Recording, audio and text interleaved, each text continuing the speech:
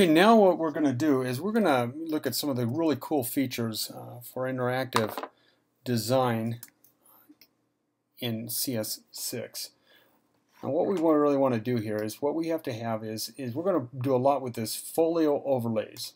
This is where a lot of our cool toys, if you will, are, are kind of built into the program. We're going to look at, uh, let's start with what I like is, is the scrollable frame.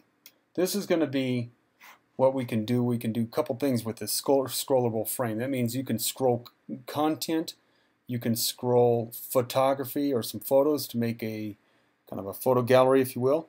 Uh, but let's let's do the one I really like is, is scroll scrollable content. Let's let's scroll some text here. So what I want to do is I'm going to go on ahead and, and this is really good for when you have a limited window, and this would be good for like recipes or a list of things that you want to keep.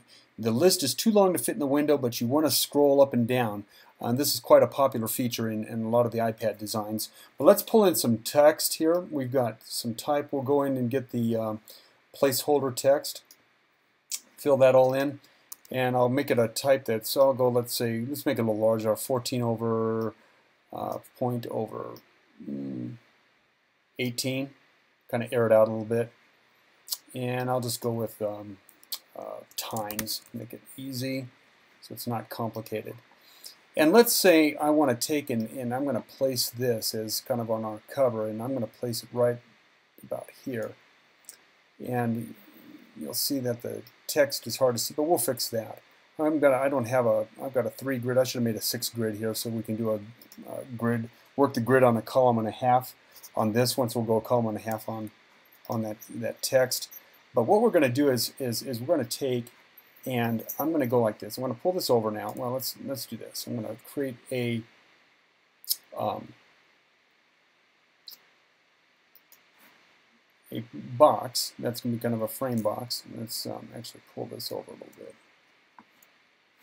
So we'll go over here and create a rectangle. And this is going to be the rectangle in which we are going to put our text. Because our text, you'll see, the text is really too tall.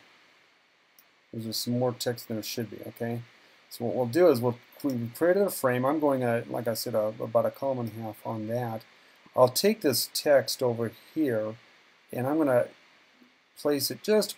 I mean, you can you can go flush. I don't like to go flush, but I'm going to just kind of place it in. We can adjust this a little later, and it's and we'll leave a little bit of a margin because the side on the side there'll be a scroll bar that's going to actually show up. It's a default. Uh, kind of a built-in feature that that is uh, uh kind of with the with InDesign and I'm going to cut Command X and I'm going to select this content box and I'm going to go edit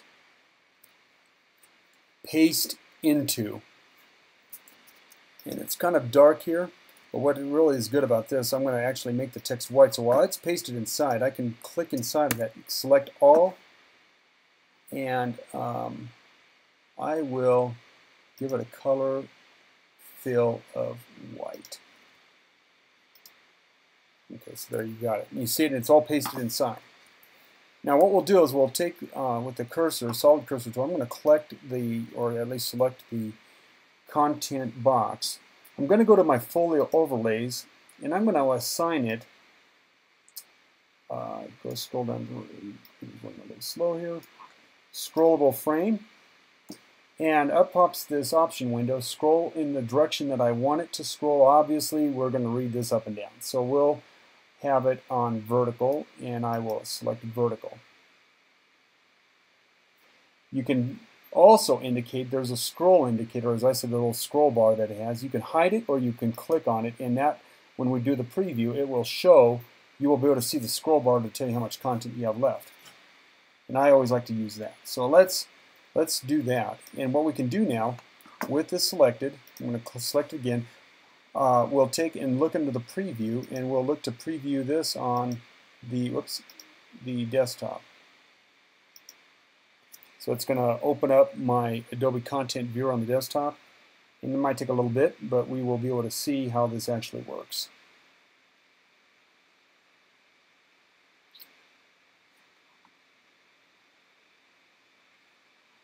So now we have it here, it's loaded. and if I move my cursor, I can drag, and you can see that I can scroll my content. That's pretty cool. There you have that. That's for scrolling text. Now, if we want to make that a little bit better, there seems to be a little bit of noise in there. What, uh, with the background, what I might do is just take this rectangle object, and I'll probably create like a box, maybe a dark box. Just position, I'm doing this just, you know, on the fly. Get my color, palette, and fill it with black. Go under opacity up here. I can take up on this window up here and go to opacity. I'll go like, oh, I go a nice round number, maybe 40%. Opacity. I'll grab that and my image, my photo in the back, and I'll go Object, Arrange, Send to Back. And there, now the pop, it takes a little bit of the noise out of the back. Uh, one of the things I didn't show you, and, and this is another tool, we're going to learn probably a few tools along the way. I didn't cover all of them in that previous um, tutorial. But let's do this. Um, Let's take and actually, uh, certain things I like to, we can work with layers, and I'd probably prefer to put that photo, since it's a background image. I'm going to click on my layers tool. I'm going to create, let's work in layers. Let's go, let's call this layer one, we'll call this our text layer, text content, whatever we want to call it. Okay, I'm going to create another layer, and I'm going to go new layer, and I'll call this background. You can do this if you want. You don't have to. It's not really important to the exercise, but I, I prefer to do this. And I'm going to put background behind, of course. So move that there. So now it's in back. I'll take grab this and uh, cut, cut, slicked on my background, paste, stick it back there and make sure it's all in position. Stick that there. Okay, there we go. So now we're, we're good to go, I believe. Whoops, ooh, I selected. Be careful with that. You're going to probably do this mistake. I selected the actual Im image. I need to get the, the photo. I need to make sure I'm collecting the whole object so I don't move just the photo inside the content box. So there we go. Um, that's uh, We're all set up and we just did a quick scrollable uh, text.